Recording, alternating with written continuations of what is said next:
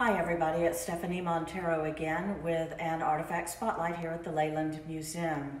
Today we're going to talk about some teapots from the Hall China Company.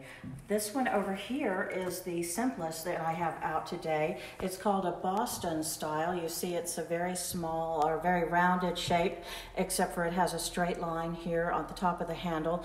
This one is a two cup teapot really quite small. Then over here is another rather traditional one, very pretty. It's the Philadelphia style. This one's from the 1950s and it's from the Gold Label series. You see it's got a gold basket weave pattern and then gold daisies around the bottom and lots of other gold detailing. So it's a very, another one that you see a lot is the Philadelphia style.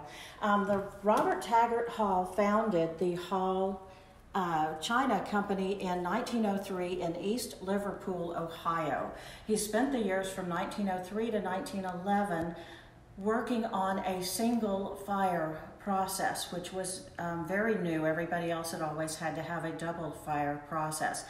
By 1911, he did manage to, um, to get that single fire process going. And what that gave him was very durable and non-porous pieces, and they did not craze. Crazing is when you see a piece of china and it has a pattern of tiny little cracks in the, in the glaze. That happens because the china itself and the glaze um, expand and contract at different levels. So um, none of these will have that going on. They did, um, the Hall China Company was incredibly popular for many years, and in addition to these really traditional ones, they did car teapots, football teapots, donuts, nautilus shells, and one of the most popular and most sought after ones is the Aladdin teapot, like you see right here. You can see from the shape of it, it does look a little bit like Aladdin's oil lamp.